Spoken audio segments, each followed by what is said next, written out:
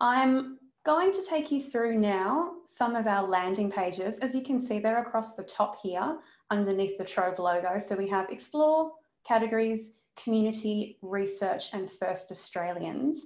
I'm going to show you the community page. And this is because in the top left-hand side, there's something that is a very popular feature of Current Trove, which is our Hall of Fame. So if you're a text corrector, your text corrector ranking will be in this list along with all our other top text correctors. So if I click on this, so this opens up the text correction hall of fame and it should be noted as well that if you are logged in at this point, it will show your rank in this list as well. So I think I'm, I'm in there somewhere, but hovering fairly far down the bottom compared to our, our top 10. So that's how you can access the Hall of Fame.